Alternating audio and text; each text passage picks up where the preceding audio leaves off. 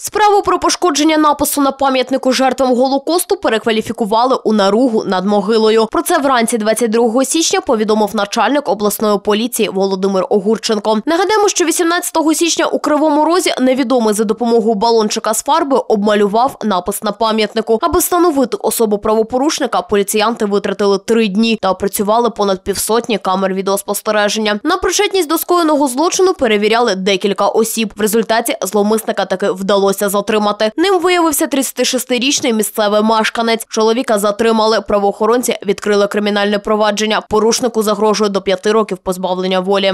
Хочу зазначити е, нашу спільну роботу з Службою безпеки України, які нам допомагали, управлінням стратегічних розробок та небайдужим громадянам.